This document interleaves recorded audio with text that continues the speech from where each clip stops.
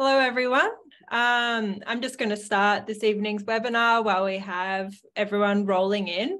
Um, but welcome. And I'm Zoe. I'm a campaign manager here at Birchal. And before I introduce Amit from Vegan Food Hub, uh, I would just like to quickly acknowledge the traditional owners of the land uh, which Birchal is based on, which is the lands of the Wurundjeri people of the Kulin Nation. And we pay our respects uh, to the elders past, present, and emerging. Um, these webinars are a fantastic opportunity to learn so much more about the incredible businesses on the Birchal platform and hear directly from the founders. And this evening, you're joined with Amit Tamari, uh, Tawari, pardon me, um, the founder of Vegan Food Hub. And um, yeah, you'll be learning a lot more about the business and the investment opportunity that's coming up. Um, Mitt's going to take us through a presentation on the company, and then we want to leave the rest of the evening open to answering any questions you may have. Um, and there is a Q&A box for you to submit those through, so please feel free to do so. And also um, upvote any ones that you would like answered as a priority, because I'll be filtering through the ones that are being upvoted most. Um, yeah, very quickly, um, if you're not familiar with crowdsource funding or what Birchal does too, I really encourage you to head to our website and try and learn a little bit more about investing through crowdsource funding. It is a little bit of a different beast from traditional investments that people are familiar with. So it's really good to become familiar before um, you make an investment in a company and know what you're signing up for. Um, but yeah, it's also a fantastic opportunity to invest in innovative and small scale and startup businesses um, like never before. And we're really trying to democratize helping, you know, these new businesses get ahead and make really cool things happen. Um, so yeah, without further ado, I'm going to pass over to Amit and then we'll have a Q&A session after the presentation. Great. Thank you, Zoe. And yeah, thanks everyone for attending. Um, so this presentation I'm going to kind of run through for like 20 minutes or so, um, which is going to be about the Vegan Food Hub. And obviously, I know people have seen the pitch video and have probably read a bit about us. And I'm sure we've got some customers here um, who might be members of the Vegan Food Hub and they might know a little bit about it. But um, I thought it'd be a good idea to kind of run through the whole thing um, just from scratch so people know. Okay, so the Vegan Food Hub. Um, so I've got you know multiple brands one central hub and we've got our brands that we currently have underneath. So we've got soul burger which is obviously the uh, you know the, the, the pioneering brand. That's the brand that kind of you know has is basically the crux of everything. You know it's it's where i kind of started my whole journey and it's you know it's it's the it's the cornerstone of what we're doing. Um, uh, but it's it's one of our brands and since then we've actually also began trialing in delivery only formats uh, Plantas Taqueria and Zayna's Lebanese. And we're also currently building a brand at the moment called Pokeway, which is a plant-based um, poke bowl company as well, poke bowl brand. So um, that's uh, that's the Vegan Food Hub. Um, and it's it's I think the best way to think about it is it's an umbrella company that owns uh, restaurant QSR concepts underneath it. So if you think about maybe if you think about you know if there's a company that owns different hotels or you know, I guess Merivale comes to mind in terms of a company that owns different brands and restaurants or different bars and restaurants. I think the best way to think about the Vegan Food Hub is it's an umbrella company that aspires to build um, different QSR restaurant concepts um, under different cuisine types. So our vision uh, for the Vegan Food Hub is, yep, again, creating compelling vegan quick service brands nationally under the Vegan Food Hub umbrella. So this is the interesting slides, um, our approach. So um, I talked a little bit about, uh, you know, the fact that the Vegan Food Hub is this umbrella company that owns the brands underneath it. Um, I'm now going to talk a little bit about our approach towards actually, uh, you know, building out these brands and and ha- the kind of strategy that we're going to use in order to make it happen. So, um, step one for the Vegan Food Hub is creating a lead brand uh, with multiple stores and a mass following. So really, you can't you can't build you can't have an umbrella company that owns brands without actually executing a brand and actually executing a concept properly. So um, the example we're going to put here is Soul Burger. So this is the lead brand. So we've we've built Soul Burger to a a real kind of a, a really well-known brand. It's a, it's a brand that's got great kind of recognition all around Sydney, um, New South Wales, and even beyond, interstate in Melbourne and Queensland. we've even had people from the US and UK um, and you know different countries actually come in and and they just know that Soul Burger is like this plant-based burger brand, and that's because um, you know we were um, the first sort of vegan um, burger burger joint at the time. Um, and so we kind of had a lot of, I guess, media attention, that kind of thing. So we've we've kind of built that brand. We've honed that reputation over sort of eight years now. Um, with you know developing a you know a real following of customers. So that's that's really kind of step one. Like create the lead brand, build multiple stores. You know, create the product that actually resonates with customers. Learn the lessons on, on what restaurant ownership and management actually is, and that's that's really what we've done. So we've got Randwick, Glebe, Newtown, and Parramatta at the moment um, which is four restaurants, obviously. And you know, the goal is to to grow Soul Burger out as well um, throughout Sydney and, and interstate as well. But um, it is it is one of the brands. So that's that's the lead brands. That's step one. So I've put I've given myself a sort of a tick here and said, yep, we've done that. We know what we're doing there. So step two, after we we've built Soul Burger, is um, is really creating is is getting the Vegan Food Hub multi-brand ordering loyalty app developed. So I talked about the Vegan Food Hub as the umbrella company that owns the brands that um, that are customer facing, like Soul Burger and Planet and Zayna's Lebanese. Um, but the other way, the other part of Vegan Food Hub is, or the VFH, is that it's actually a, a membership ordering and loyalty platform as well. So um, you can actually download the Vegan Food Hub app or the VFH app, and what that allows you to do is what we've what we've sort of had developed is that all of our brands are actually in that app. So what we want what we want customers to do is to be able to order delivery pickup or, or even dine in via qr code scanning or via at the app um, through that one app and the advantage of having that multi-brand sort of ordering app is that you can get loyalty points across the different brands so if you spend a dollar with soul burger you actually get a point that you can redeem towards uh, Plantas Taqueria. If you spend a dollar Plantas Taqueria, you can redeem um, you can redeem a point. You can redeem the points towards Zayna's Lebanese for next time.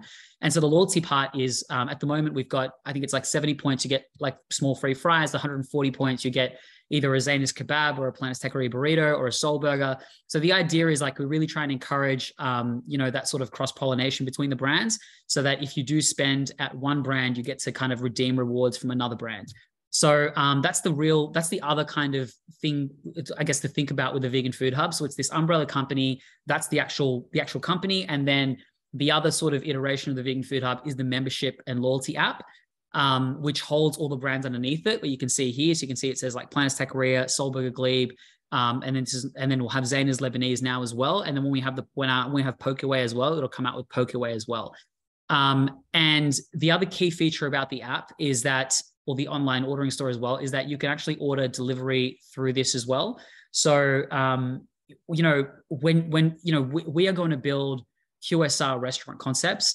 And if you're going to build QSR, and by QSR, I mean quick service restaurant concepts, if you're going to build QSR restaurant concepts, you need to know that delivery is just going to be part of your life now, and it's going to be a bigger and bigger part of your life. Um, I, I would kind of equate it a little bit to like if you're going to own like you know a nightclub, like alcohol is probably just going to be part of the business model that you're in, um, and and maybe music as well. And for us, I think if you're a quick service restaurant, you, you really have to nail delivery and you have to own it and make it a profitable part of your business. And so that's the other big feature of the Vegan Food Hub app is that um, you know, we we the app that we've had developed integrates directly with DoorDash Drive, which is the white label version of DoorDash. So we have access to all their couriers. And there's actually an integration happening with Uber Direct as well, which is the white label version of Uber. So what I mean, what I mean by to say white label is that it doesn't happen through their marketplace, but rather um, we there's an there's like an API integration with the app and and Uber and or, or, DoorDash, and their couriers will get binged when someone orders delivery from the Vegan Food Hub app or the online store. So those people, so those couriers will come in, they'll collect the food, and then they'll deliver it. And the customers will actually get a very comparable experience because they'll see GPS trackable delivery. They can track the delivery um, they'll be able to um, submit support requests. And we've actually got like an on on demand phone number as well now. So we've got like a we actually rent um, the support service from DoorDash so that they actually answer it and as as you know by saying hi the vegan food hub and then they'll actually have a matrix where they can issue refunds and credits and things like that. So the goal really is to make the vegan food hub um, delivery uh, portion comp- competitive and comparable with Uber Eats, um, DoorDash, and and Menulog. Um, and then we've got future ideas for how we can make it even more compelling. Um, one of them um, that we really want to pull out, put, um, put out soon is being able to order from different brands through one order. So, um, you know, for example, if someone wants to get a burrito from Zayna's or a burger from Soul Burger and then maybe churros from Plantas, they can get it all through one order.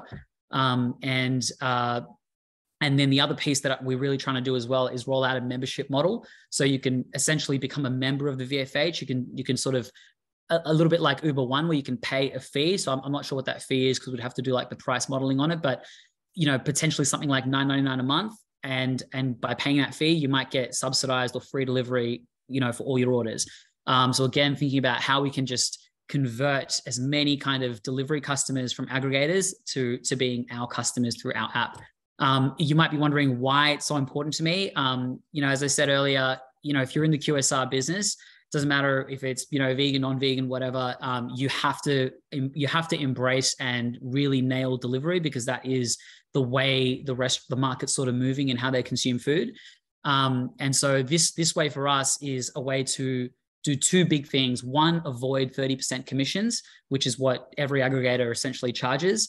And the second thing is to keep um, your customer data. So a lot of restaurants are completely reliant on third-party aggregators, and um, that's really quite scary because there could be a time where those aggregators, you know, start maybe going into partnership with other restaurant groups or build their own ghost kitchens.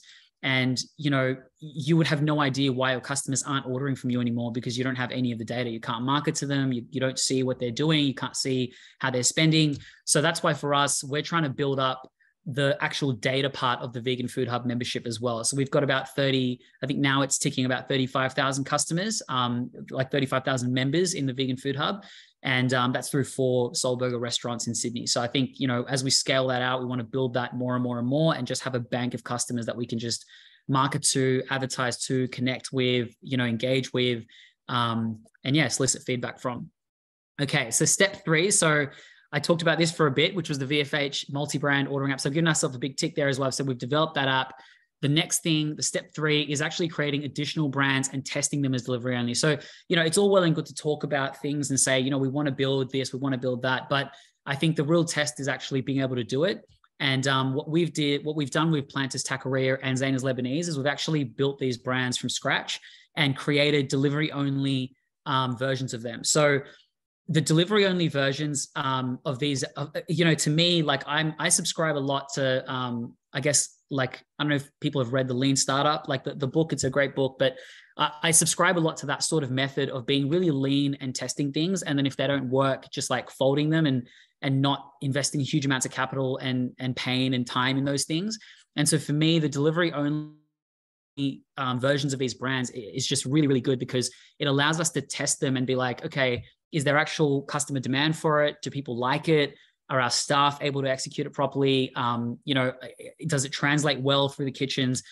And so, if it does, if we see sales growth and we see good feedback, then we can say, okay, these things are, working as delivery only brands. And then, you know, what we may do, what we will do, is actually build um, physical restaurants for those brands. So you can see here, step four, I've said if the brand demand is proven, you know we want to create customer centric compelling physical restaurants. So um, this is this you know this is obviously a, like a really crude animation of like a Plantas Taqueria and a Zayna's Lebanese. And then the vision will be um, you know what we want to do is basically build a Plantas Taqueria next.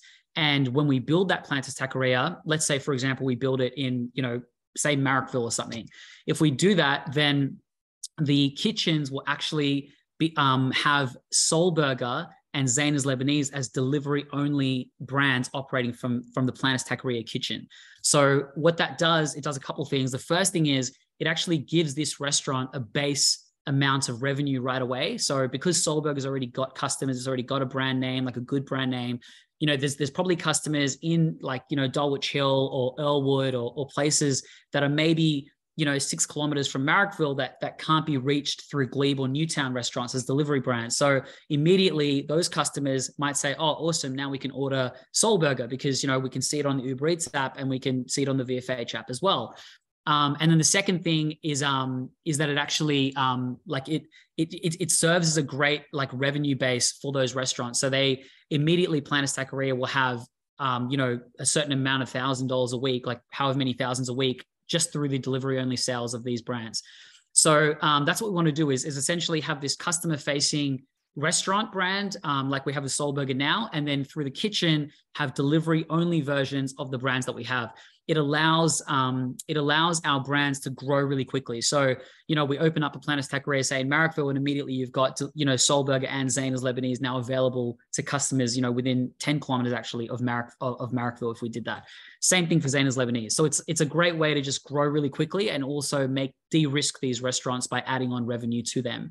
Um, and then the kitchens are only limited by the amount of brands they can produce. So we think of the kitchens as almost like production facilities and and say to ourselves, okay, well, you know, what like what is you know the only limiting factor to these kitchens is however many however much they can produce. And most kitchens are very underutilized. Most restaurants are busy like 12 to 2 6 to 8 and then it's it's quite underutilized. So you know, we've found with Zayna's Lebanese and Plantas Taqueria that we've had no issues, um, even without custom built kitchens, to actually work out methods to, to execute all three brands at the same time.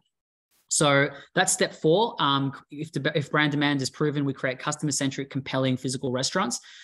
And then step five is we convert aggregator customers to VFH members. So um, basically, what we want to do is is um, we want to almost treat Uber Eats um, and and DoorDash and Menulog marketplaces almost like a top of the funnel, and you know they, they we, we want customers seeing us and trying us from those platforms, and you know some people might be members on those platforms and just committed to using them, but we want to try and do as much as we can to win those customers to the Vegan Food Hub platform as much as possible because it really is a win-win. And and that's why we advertise it on our socials as well now. We say things like you know we actually add up the bill and we say if you order this you know we order two burgers fries and two drinks from the uh, aggregators you're going to pay $77.18 but if you order it from us you'll only pay 58.50 so you actually save 18.68 so because we want our customers to get the best value that they can and then from our perspective, we actually don't lose any money because we're not paying any commissions. We're only paying a delivery, a flat delivery fee um, to, to a driver, which you know we offset with the delivery fee that we charge our customers. So it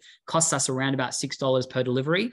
Um, whereas you know on if you think about it, like say say on a hundred dollar order, if we ordered it from if someone ordered it from the aggregator marketplace, it, we would pay about thirty three dollars, which is like thirty percent of of hundred dollars. Yeah, thirty three thirty three. Um, but if it ordered from the Vegan Food Hub app, it would actually cost us, the restaurant, um, roughly six dollars because it would be the delivery fee that we pay the, cur- the the courier and then minus the delivery fee we get from the customer. So yeah, six dollars versus thirty three dollars. You're talking about like a factor of five, five times cheaper if if they ordered a hundred dollar order direct from us. So that's why we want to try and convert them as much as possible. And also, um, again, about the customer data, we we don't want to be, we never want to be held hostage to an aggregator company. We always want to have our own relationship with customers. We want to have our own database of customers that we can remarket to. So these are some of the strategies like, you know, putting stickers on boxes, saying download the Vegan Food Hub app to save 30% when you order directly from us. And then saying it, you know, cheaper than Uber Eats, DoorDash or Menulog It's like the average. Um, having social media advertising, um, putting it on our, this is like packaging that's coming out soon. So having it on our, on our burger boxes, on our Zayna's Lebanese um, kebab wraps, on and also on our takeaway bags as well. Okay, and then I've got this slide of like why we'll win. Um, so this is pretty much like the pros of our approach. So the first pro, the first big pro is multiple brands from one kitchen. So with restaurants, at the end of the day, you have to make you have to make a single restaurant profitable. Um, that restaurant has to work. You can't off. I mean, I don't really believe in like offsetting loss making restaurants with with money making restaurants things like that. Like I, I try and make sure that each restaurant is profitable and if it's not profitable then we need to figure out to make it profitable. So multiple brands from one kitchen is a great way to essentially increase labor productivity from our kitchens um, because it means that staff that are already there doing soul burger things for example, for now, if someone orders Plantas Taqueria, they can just they can make Plantas Taqueria. So it's not a situation like you have ghost kitchen models, which um, are different because what that normally involves is is hiring a kitchen somewhere else and then paying for crew to like be there and and basically you know be in a separate kitchen and then you know, getting the food and everything to that separate kitchen and then paying separate rent, separate utilities. It's like a diff, it's almost like a dark restaurant. Um, and it has its own challenges. And it's, it's, you know, this is a much cleaner model because you're using all your own stuff that's already there. So, um, and then also, yeah, the, the rent and fixed overheads become much more productive. As I said, like you're paying the same rent, but you're just doing additional brands from those kitchens. And you also tend to get an increased average order frequency through multiple brands. So someone that might not want burgers three times a week might want burgers once a week and then burritos another time a week. And then if we when we do Pokeway, they might want, you know, a healthier poke bowl. Um, yeah, and then um, the other the other big thing is having multiple brands on third party apps. So um, the aggregators are still part of the model, even though you know they are like a marketing funnel for us. And we really the, the slogan I have is we don't want regular customers on Uber Eats. We want customers that are regular on Uber Eats to convert over to the VFH app. But um, in saying that, you know, we treat I treat Uber Eats almost like it's Google, and I view it as like um, you know, search engine optimization. So I look at Uber Eats and I say, well, they've got a Mexican category, a Lebanese category, a pizza category, an Indian category, a Chinese category. A, you know, they've got all these different categories of in cuisines, and at the moment, we've got Soul Burger in burgers, um, Plantas Taqueria in Mexican, and Zayna's Lebanese in, in Lebanese. And then we've got all three in the vegan category. And, and there's just so many other categories that we can we can approach and then try and basically get our brands ranking higher and higher in those categories. Um, so yeah, it's just a way to almost hack. It's like hacking an aggregator, like basically having multiple listings on an aggregator through one restaurant. Um, and then the Vegan Food Hub membership drives repeat revenue as well. By you know, by owning customer data, we can continuously communicate and remarket and segment customers out. Um, and at the moment, we're doing about 30% of our system revenue um, through the VFH app, which is like really, really good compared to other restaurant groups. Um, you know, often struggle to hit 5%. Like we, we hit like 30%. Um, but we want that high. Once like 50, 70%. We want it to be like the norm that when you come to a restaurant, you know you, you're a member you're either a member with us and you're ordering via the pos through membership or if you order offsite you're doing it yeah through the app. Um, sorry i'm just looking at the time. Um, so market size so yeah the vegan market size um, uh, you know, it's, it's, it's projected to be a $28 billion um, global, the, the, vegan fast food industry specifically by 2033, 28 billion um, US dollars. And then you have, um, yeah, 42% of Australians either eating no meat or eating less meat in 2019 and um, the actual Australian plant-based meat spend um, uh, projected to be uh, three billion uh, by 2030. And then the other big market is the quick service and delivery market. So this is the market we're in. Currently, a 21 billion dollar market in in Australia, and roughly um, 30% um, of that is happening through delivery sales. Um, and then online ordering um, is also growing three times faster than dine-in sales. So we, we do really care about dine-in. Dine-in is like the most profitable part of our business, and I'm, I'm really going to like focus on getting those restaurants dine-in friendly and and customer, you know, the ambience for customers being spot on. But I think you know pivoting towards making sure that you're you've got a really good online approach is is definitely yeah a really crucial part of the future. So um, in terms of market validation, um, you know, in Australia we haven't seen like a really powerful plant-based QSR brand. In the states, we're seeing it. So there's um, Slutty Vegan, which is um, a, a, vegan burger brand in the states. They, they raised just 20, they raised recently 25 million on like a hundred million dollar valuation um, plans to scale nationally. There's Neat Burger, which is um, I think they call it like I think Lewis Hamilton is involved in that. Um, I think they raised a similar amount at a very similar valuation of 100 mil. Um, there's Next Level Burger, which is also another brand that's competing to be uh, a US um, like national um, vegan fast food brand. there's Plant Burger. there's Odd Burger in Canada, and then there's Copper Branch, which is which is largely in Canada. I think it's got now a store in Melbourne as well. Um, so in terms of our growth plans by 2029, this is what we hope for. Um, as you can see, like this is Sydney, uh, Melbourne is the darker blue, Brisbane is the darkest blue, Adelaide is the light purple, and Perth is the dark purple. So as you can see, we're not going we're not trying to go sydney melbourne brisbane like you know strategically not to do that. Like we've seen it so many times where brands try and go too fast too quick spread themselves thin and then the quality control dies and you know it's it's really bad for the brand. So we want to nail sydney first and, and around sydney. We've got Plantas Taqueria we've got Zayna's Lebanese still to build stores for. We've got soul burger stores to optimize and you know we've just got so much to do here first. And then when we go to melbourne um, you know the plan is to really go there and then like build restaurants around like in a very concentrated manner not to just like you know sporadically build restaurants but to have everything kind of strategically done so that we can always help each other in restaurants use similar staff and, and just keep the quality really high. So goals by 2029 for us is 40 um, physical restaurants around australia um, which means 160 plus delivery only sites as well, assuming that we have roughly four delivery sites in each restaurant. It might be less at two, two to four. It might be even more, um, but I'm just, I'm roughly going to say four. We've, we've got two at each restaurant at the moment. Um, we want each restaurant doing 1.3 million dollars plus in in uh, in store revenue, and then we want the group revenue hitting um, above 50 million overall. And then I've just got like a little intro on the team, which I think you know, time is time is where it is. So I'm gonna I'll probably stop here. But yeah, I've got myself, got um, Chris is our consultant chef, uh, former Merivale, um, really passionate um, person. Um, got Melanie in accounts, Kyle Uh, Jesse's amazing. She's um, does our brand development, so she's helped us basically helped us with Plantas Taqueria and Zayna's Lebanese. Got Dave doing our digital advertising, and then we've got some really really great um, advisors as well um, that are kind of like advisors to the CEO to help me, yeah, be a better CEO and, and manage the company properly. That's it. Awesome. Thank you. Um, and just for everyone's awareness, you are able to send me any further questions um, if you have any after tonight through the Birchal platform. So there's a button. Um, if you haven't already expressed your interest in investing, there's a button that says send message or contact company. Um, so if you do have any further questions, you'll be able to ask them, but we'll just get stuck right into the Q&A part. And thank you for such a great presentation. I love all the colors and the visuals in yeah. throughout your whole brand. Um, so I'm just going to jump into them and I'm just going by the most upvoted questions for everyone's awareness. And this one is probably one that I'll take first because it's just about more investing with Birchal. So the question is from Tina and it asks um, quite a few questions in one. But first of all, how many shares are being issued? Um, what are the responsibilities and risks associated as an investor? Um, and can we buy additional shares later? And is there going to be a brochure issued? So, um, just for everyone's awareness, we're currently running an expression of interest campaign, and that is to, you know, um, bring everyone along to learn more about the business that they might be investing in.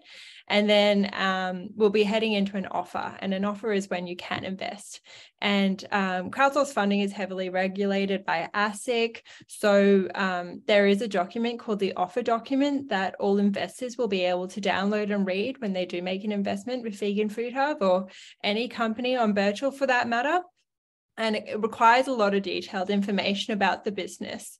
Um, so it'll cover details about plans that have already been mentioned tonight, but it'll also have more about you know growth plans, risks involved with investing, um, financial statements, and more. So there will be a brochure available.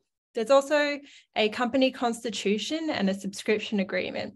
And um, they're really important documents for you to read also because they will outline the risk and responsibilities that an investor has um, when investing with Vegan Food Hub. So, um, you know, if you're worried about any liabilities or want to understand what would happen in particular scenarios um, with your shares, it's important to read those documents as well. Uh, in regards to buying shares later, so it's not uncommon for investors to maybe make one purchase of shares when an offer does open and then make another, um, you know, as a, an offer campaign comes to a close. Um, I guess, you know, in traditional um, capital raising, there is a cap on shareholders for companies, which is usually around the 50 mark. So a lot of businesses don't just take people um, in and you know as a shareholder after holding capital raises. But one of the great things about crowdsource funding is that there isn't that limit with the number of shareholders that a company can bring on through this kind of funding mechanism. Um, so whether shares will be available later is dependent on many factors, but not um, usually like a quick, easy thing to buy into um, outside of crowdsource funding. Um, and then, yeah, how many shares will be issued? Um, that information will be available when we do go live with the offer. Um, so be sure to, you know, keep your eyes peeled on all the communications going forward. Um, and then you'll be able to see what the share price is and how much um, it's, you know, going to, Amit's looking to have invested in his company. So very long-winded answer. I was going for four questions in one, but I hope that helps everyone out. Um, we also have a Birchal help center, which covers a lot of frequently asked questions we get about crowdsource funding and how this all works. So I really encourage you to go there and try and um, read a bit more if you have particular questions. And I've got that linked in the chat box. Um, cool. Okay, so um, I haven't had a chance to read all these, so I hope I understand them as I go. But um, this one's from Neil, and it is saying, given that the core market are vegans, how is sustainability embedded in the business model? For instance, are there any initiatives to reduce food waste, use eco-friendly packaging, or support local farmers? Yeah, so um, yeah, look, I mean, being a being a vegan brand in general is just very, very sustainable. Um, that is, I think there are often brands that there's a lot of greenwashing involved with with companies that'll say things like you know that'll have like minor initiatives but their core business is actually you know if it's intensive animal farming like that's just that's to, to me that's like a non-starter with sustainability. So i think i mean the answer to your question i mean look i, I mean I'll, I'll, then answer it a little bit more but i'll just say that by being a, a you know a vegan business by, by being plant-based like we we tick so many of like those sustainability kind of targets already. Um in terms of like the other things that we're doing um, but the, you know the answer to your question is yes um, we definitely do we definitely do try and do other initiatives as well so for example with packaging um, you know we have um, dramatically reduced our plastic. So we we don't even try and use um, you know like there's like biodegradable like query plastic that like bioplastics that I'm not I, you know I haven't seen that much evidence for. So we even try and move away from them, um, and we we we try and basically stick towards like you know cardboards and actual paper based um, packaging as much as we can. Um, we even push our suppliers as well to like essentially pack things differently for us, so we don't have single use packaging because it like yeah it kills me seeing like little packets of like you know plant-based products and you just have to tear open a packet and you've got like 50 packets in a box so we we we do that quite a bit so eco-friendly packaging is big for us um, we have where we're actually going to roll out an initiative soon where you actually have a reusable burger box as well where you know you can basically have your own like packaging um, we, we, basically we give you a burger box and then you can like reuse that and, and avoid um, for takeaways anyway avoid um, extra packaging um, we use um, we we sort of we use cookers for our oil, which which has like a recycling scheme um, built in. Um, you know, we have like we have schemes with our energy providers as well, where we actually have um, offsets in our in our energy energy bills. Um, what else do we do that's that's eco friendly? Um, yeah, that's I mean it's probably probably the main stuff. yeah, so I mean I guess the answer is we really try to look wherever we can.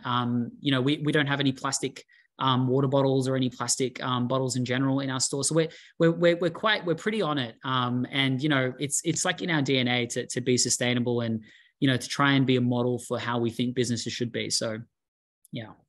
Cool. Thank you. Um, this one's from Susan, and Susan asks, um, "Can we learn more about Amit and any of his experience? Um, oh, sorry, any and any of his business partners?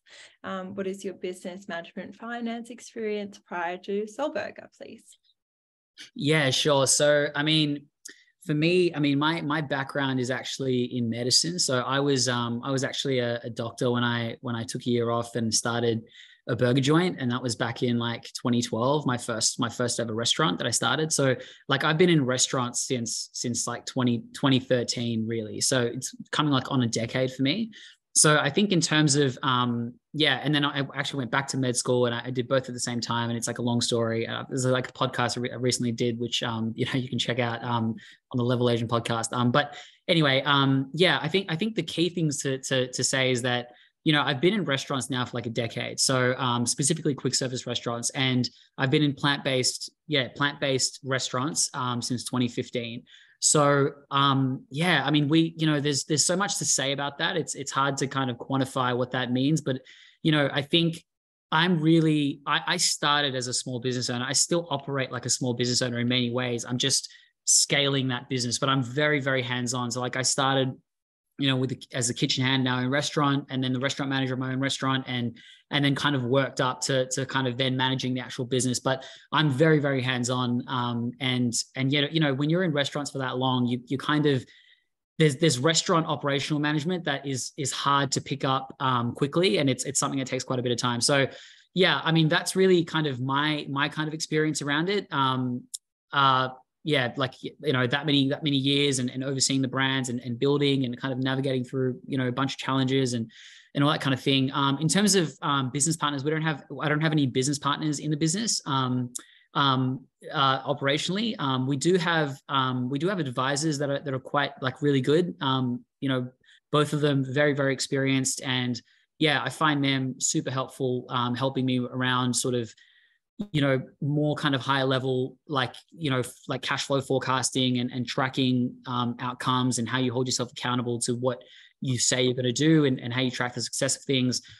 Yeah that's that's probably the best i would say. Um, i mean otherwise about me i mean what else was i mean you know i'm i'm basically like an evangelist for this thing. Like you know i really really believe in um, you know, trying to build a business that can help catalyze our food culture away from eating animals, um, you know, intensively farmed animals, especially, but really move it towards, um, you know, plant-based eating and and eating, you know, animal meat alternatives. Like that's what I really care about, and it just happens to be that you know, um, I guess the the form I've chosen is restaurants. I could imagine myself in a, another kind of space, but doing a similar thing. Um, but yeah, I love hospitality and you know this is kind of like i guess the the vision for me you know this is the way i want to make an impact on this on this kind of scene and and i hope that you know the vegan food hub plays like a part um, in actually catalyzing other restaurants and and like a national change in, in how we eat yeah thank you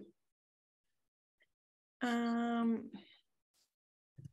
this one's from Joshua, and Joshua's asked, why have you decided to use crowdsource funding instead of venture capital? And um, are you able to talk a little bit about who might be existing investors in Vegan Food Hub already? Yeah, sure. So um, the reason, so with restaurants, there's really like four ways to grow with restaurants, right? There's there's franchising, which is how most restaurants grow, which is where you would basically allow someone else to spend capital to build a restaurant and then you would charge them like a license fee in, a, in essence like a franchise fee and you grow that way um, the second way is through vc funding um, or you know some sort of yeah probably vc funding the third way is um, through or uh, not just vc funding but external capital funding so maybe high net worth investors and things like that the third way is um, just funding off your own cash flow so um, you know basically trying to um, yeah, you know, be I guess be be cash flow positive enough to actually build restaurants by yourself without any external funding. And then the th- the fourth way is um, like you know different kinds of capital raises like this, which is which is crowd equity funding. So if you think about those alternatives, so with VC funding, we have actually reached out to different like you know VC funding was the first thing that I thought of because that's what a lot of startups do and that's what a lot of restaurant you know a lot of businesses do that. Um, you know when I saw some of the term sheets and stuff, I I I you know I I didn't I I found it like I found it a little bit too aggressive sometimes. Like it, it felt I think the way some VC firms work is you know they might pick sort of if there's like 10 there's, there's 10 restaurants they might pick 10 sorry 10 different businesses. Mm-hmm. You know they they're expecting to really get one of those businesses to win really really big so that funds the cost of the, the nine losses. And that's often the way vc funding works. And so it ends up you end up in this situation where you have to like grow grow grow grow grow. And and that's just not the way I want to do it. You know, we're trying to build like an institutional company. Mm-hmm. You know, we want to build a company that is, you know, an amazing, like an amazing business that's around for a long time, and that that involves sustainable growth. Like I'm not in the business of wanting to grow that aggressively at losses and take these massive risks and things like that. So VC funding, I just didn't find it the right fit. Franchising, we have actually franchised the restaurant, and um, yeah, I mean, we've been lucky with our franchisee. Um, but I think in general, I think franchising is getting harder and harder um, for a few reasons, but delivery is a big part of it. You know, margins in restaurants are not what they were like 30 years ago or 20 years ago, or even 10 years ago.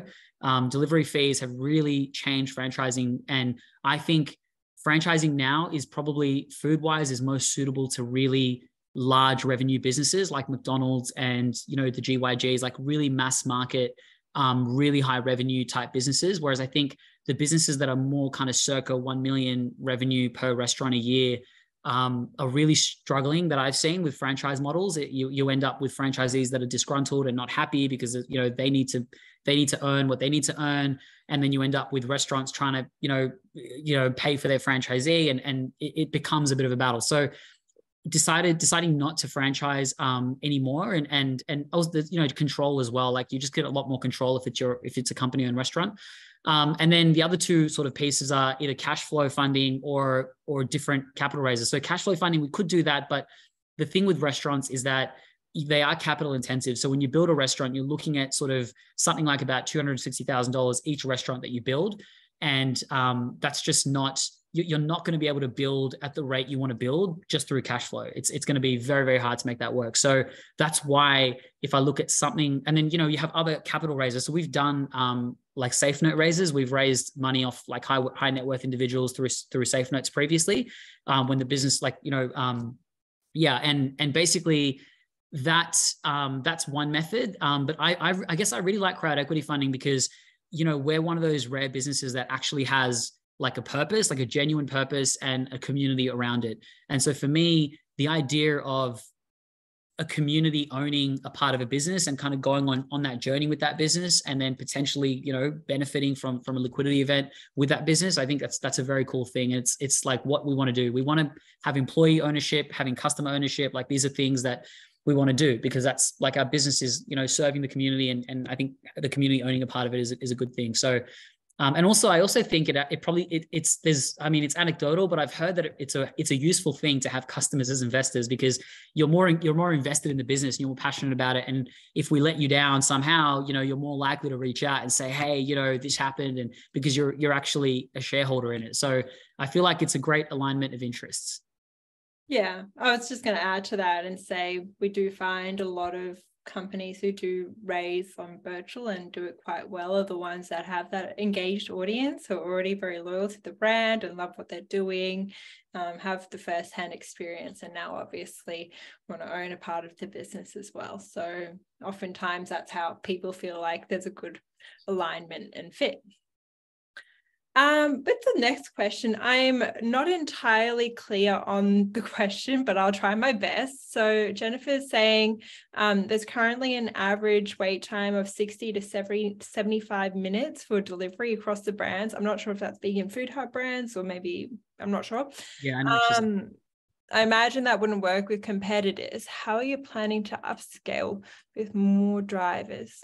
So I'm just not entirely clear on the question, but if you think you could, that's okay. I'm, I'm, clear on the question. Yeah, I know what Jennifer's talking about. Okay. So yeah, so um, no, it's a great question, and um, basically, look, it's it's a, it's actually a technology um, it's a technology flaw within the app. So we need to give customers a guideline as to when they're going to reach their when they're going to get their orders, and so we've got a set premeditated guideline of 60 to 75 minutes when you actually order, that's when you'll get dynamic um, timelines. That's when it'll you'll actually get a timeline that'll say your food is you know 50 minutes away, or it's 70 minutes away, or it's 40 minutes away.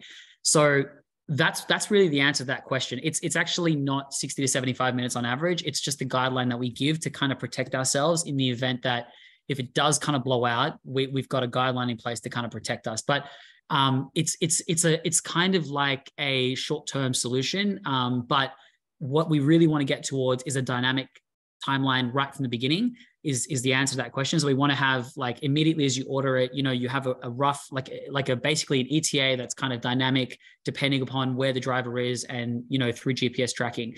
Um, and then the other thing is um, you know it, it is about courier numbers and stuff in sydney as well. And it's, it's why we're also partnering with uber direct which is uber's version of um, white label delivery. So basically getting on look i mean the reality is most doordash couriers are uber couriers and vice versa. Like they tend to do more than one thing but uber is the most popular um, delivery aggregator platform. And that's why we're really keen on getting uber direct as part of our system as well. So once we can get uber direct integrated with our system as well there's going to be potentially more couriers because there are some uber drivers that aren't um, uber couriers that aren't doordash couriers um, and once we get those two in, we'll just have a bigger fleet of couriers.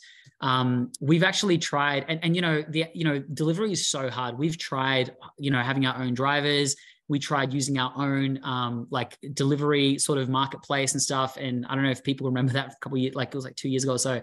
It, it is so so hard. There's a reason, you know, that's why we decided not to have our own drivers and and start using these third party aggregator white label solutions because you know, having that customers are used to seeing GPS tracking, wanting immediate customer support, immediate help, and getting their food quickly. And unless you're Domino's and you've got like that level of scale and tech and and restaurants, it's just it's really really hard to make work. And that's why, um, you know, I think I mean I I actually I'm really optimistic about this. I think when you know once we get the dynamic kind of delivery times, um, it'll help a lot because it'll give you a real time. And then the second thing is once we get Uber Direct on board as well, we'll have you know many, many more couriers as well. So, yeah.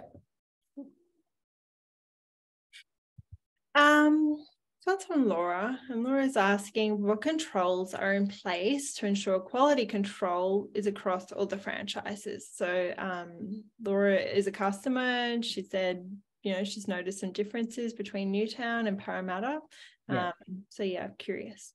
Yeah. Um, look, that's that's a great question, and it's partially why we want to corporate like corporately own stores and have more control over it. Not that it's you know one store or another, but um, we're we're actually in the process at the moment of you know we we could have built more restaurants after we got to four and then we didn't because one you know we saw what was happening with delivery and covid and that's where the vegan food hub iteration came in but two as well because we don't want exactly this thing to happen. We don't want inconsistencies between stores and different processes with different managers and things like that.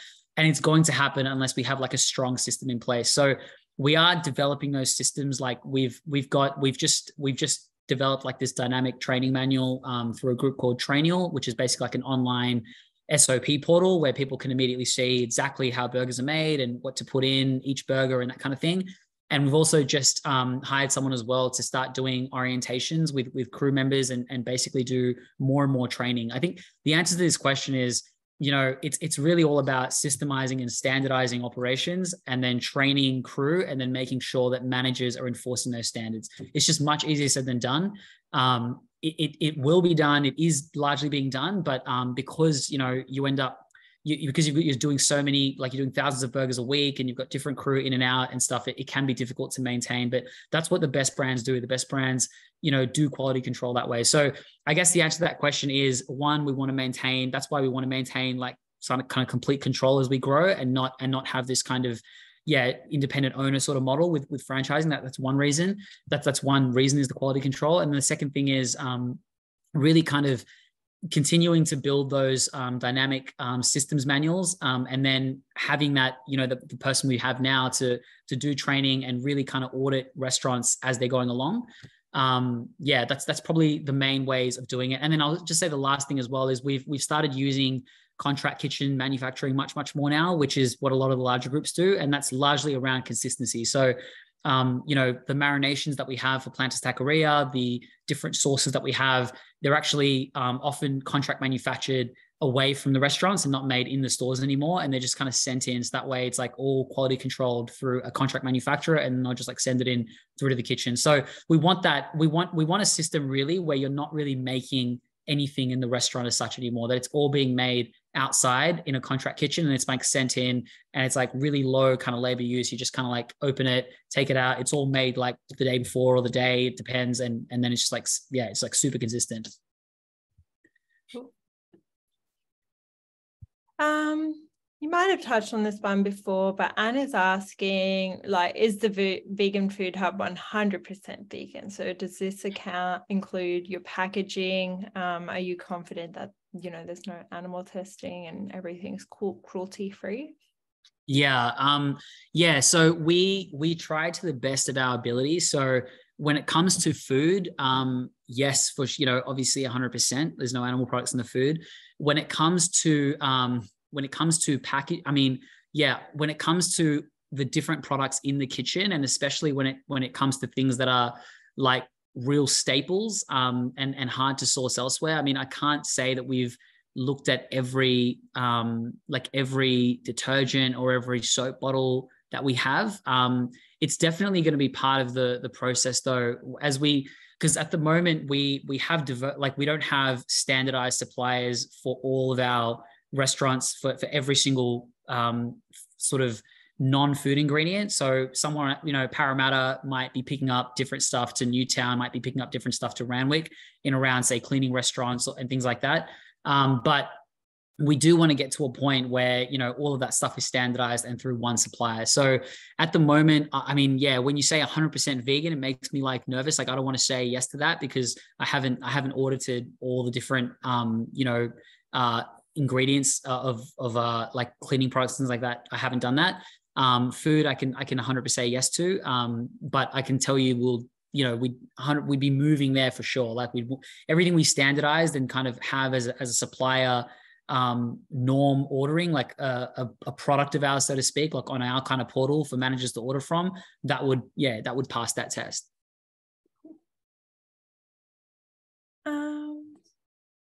Sounds from Francis, and it says, um, I see your expansion does not include Canberra.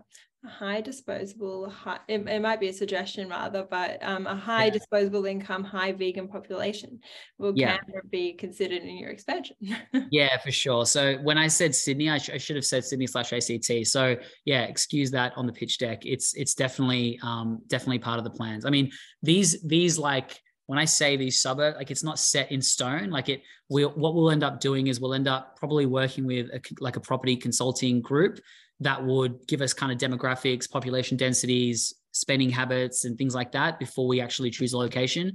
But off the top, yeah, Canberra is like a very obvious place to be. So yeah, excuse that. Definitely is the answer. Excellent. We'll see you there, Francis. um, this one is from Andre, and it's kind of touching on some similar questions that we've had before, but it's um, asking um, how how is the food safety managed with all the different brands in the kitchen? Um, this might be more in relation to allergies and specific dietaries and all the different brands and cuisines that you're preparing. Yeah. Um, so in terms of um, in terms of allergens, we'll we have like an out. We actually about a week away from having like a really clear um, collated allergen sheet. So um, all the brands essentially will have you know their products with all the common allergens, the nu- nutritional um, inputs in each of those things, as well as um, as well as like basic ingredients as well, just in case there's something that is not a common allergen that you're allergic to. Like someone that came in that was like allergic to tomatoes, for example, that that wouldn't be under the common allergens normally. Um, in terms of um, how food safety is managed in the kitchen with all different brands, so um, I think the, the reason this works um, for us at the moment so well is because a lot of the brands have a lot of the base inputs the same. So, for example, Plantas Taqueria, you know, we use like a plant-based um, beef for that, right? And then those plant-based beef strips are also used for Soul Burgers halal snack packs, um, as well as for Zayna's kebabs. But the difference is, is that the marinations are different. So the carne asada will have a carne asada marination that'll be done, um, that'll be done for Plantas Taqueria, and then it's stored in like a separate part of the bain marie. So it's like that's that's for Plantas Taqueria, that's for Soul Burger, that's for Zayna's. So that's that's the way it'll work. So it's it's actually um, the way you know because things are made off site and because contract contract kitchens are involved in in the marinations. Um, it's actually quite separate in the kitchen. Like the the brands don't normally cross collaborate that way. But in saying that, um, you know, if they do cross collaborate because everything is plant based, you know, we know we don't have to worry about you know that level of like avoiding things. But what we have commonality is like you know what we you know we have depending on the product and if it has a common allergen or it doesn't have a common allergen we we cook it separately and we kind of separate it out that way um we are going to wrap up soon just because we've only got an hour booked in here but we'll ask, we'll ask one or two more questions. Um this one's from derek and derek's asking do you have any metrics on whether vegans repeat buy quick service restaurants? Uh, is this why you're looking to, at having multiple styles in the kitchens?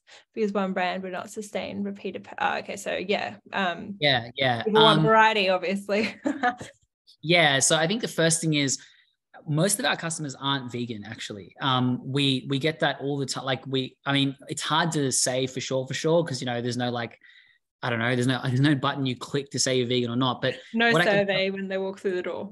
Yeah, what I can tell you is whenever we do like in person stuff, whenever we just ask people, um, and we do it quite a bit, like spot check quite a bit, it, it's almost inevitably like eight out of 10 are not vegan or vegetarian. So um, that's kind of just for starters. In terms of why we're looking to have, um, you know, vegans repeat buying QSR. So eh, we we have much more repeat purchasing. Like the average of our repeat purchasing, as per our membership data, is is much higher than a regular brand. So Vegans specifically, I don't know, but I can tell you about um, our customers. I can tell you our customers repeat purchase quite a bit um, with Soul Burger. It's it's much higher than the norm, and I imagine it probably is around dietary. I imagine it's probably is because you know we offer something that they might not be able to get somewhere else, or we offer it in a better way than they get it from somewhere else. Um, why we're looking at multiple styles in the kitchen because one brand would not sustain repeat purchases. I wouldn't say one brand would not sustain repeat purchases. I would just say because it's it's like it's just a better model. You know, it's it's just a way for us to be even more profitable and and have higher revenues and serve a greater market of customers and a more diverse range of customers. So I just view it as a way to future proof and like really kind of optimize a site. You know, if you think about it just from an efficient efficiency perspective, you'd say, well, you know, how can I get the most out of this kitchen? And I think with the rise of like digital ordering and deliveries, that's why you have this whole industry of like ghost kitchens, virtual brands, um, you know, dark, you know, dark kitchens and, and so on. Like it all, it all stems from the notion of one, suddenly a restaurant is not necessarily brick and mortar anymore. You can create an online shop the same way you have an online retail shop. You can do that now for a food brand because you've got drivers and you've got, um, and then you've got digital ordering. So for me, it's just like looking at that and then saying, you know, Soul Burger really isn't a, a burger brand. It's actually a plant-based brand that does burgers. And and when I made that connection, it was like, okay, this is so obvious. Like, why are we not doing all these other brands? Like, why are we just sticking to just burgers within plant-based food? Like, why aren't we tackling all the other QSR cuisines that frankly use the same kitchens, um, same grill, same cooking equipment, you know, exhaust hood, deep fries, same thing. Um, and you know the the base of what we do like the proteins the sources like that's the hardest thing. So we're already doing that. We're already doing it plant-based. That's the hardest thing. So you can then kind of just iterate that to different cuisine types and and yeah create new brands out of it. Um this will be the last question for the evening but um if you would like to we can like i can send you all the questions and we can try and get back to more people after this webinar um, the last one be from Andre, and he's asking, can you explain the staffing model? So I'm not sure if that's in relation to the, just um, the presentation, the different brands and stuff, or yeah, maybe something a yeah. bit more in depth. Yeah, I guess it depends what you mean by the staffing model. Like what I, I mean, yeah, in terms of the brands, so the staff learn all the brands, and and the and it sounds like it'd be really complicated, but because we do so much contract kitchen um, work for these different brands, it's actually really not that difficult at all. It's it's um it's quite. I mean, we could we generally we generally train staff in like two to three weeks. Um, so um, that's that's from that side, and then otherwise, I guess the way I envision these restaurants is, you know, we we want like a customer centric person in the front. We want someone that's willing to engage with customers and guide them around ordering and really encourage QR code ordering. Are you a member with us? Sign them up. Like we really want that happening to try and increase the VFH membership revenue.